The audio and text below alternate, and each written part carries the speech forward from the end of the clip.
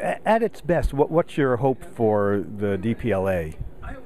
Uh, I think that the, the, hope is um, universal access to knowledge under the highest uh, standards and practices, and really making the dream of digitization of the World Wide Web come together to uh, enable the largest number of people to really be able to learn uh, as much as they can and get access to information at any time, anywhere.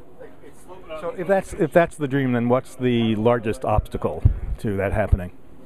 I think the largest obstacle is first bringing together all the different parties because a lot of people have, uh, a lot of institutions have efforts underway. We need to make them we need to coordinate them. We need we don't want to duplicate everything. We want people to cooperate with each other, and then we need to find a system for interoperability and for a single discoverable environment. Hopefully, that we can all share and benefit from each other.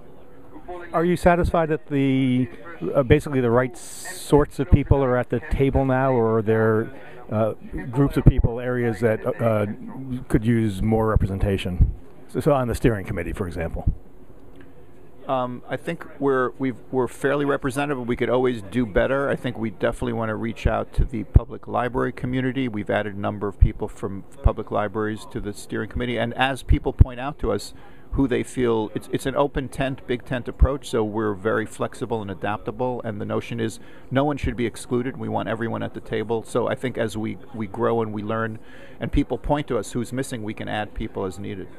So what what's the role of um, uh, say publishers and uh, I don't even know what to call them at this point, but people like uh, Amazon and Google and Google Books? I think they're very important, and I think you want them. I mean, go- both Google and Apple were at our last meeting. I think we want to keep talking to them. We want them to be part of this effort. We want to use the best things they have to offer. I mean, Apple on the interface, for example, would be a wonderful partner. Uh, iTunes University might be, you know, a way to get some of that content out. I mean, I think we want to um, to make this a, a partnership with really uh, everyone that we can bring into the fold. So um, I think they have a big role to play. We have a lot to learn from them. And since we're on our way to The Hague to meet with Europeana, and Europeana was very present in the meeting we're just coming from, the day and a half meeting, um, uh, how do you see the relationship potentially between uh, the DPLA and Europeana and other such organizations?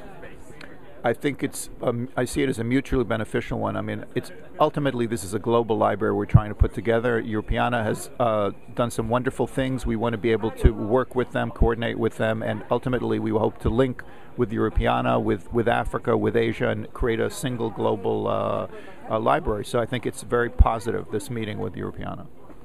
Thank you very much. Thank you.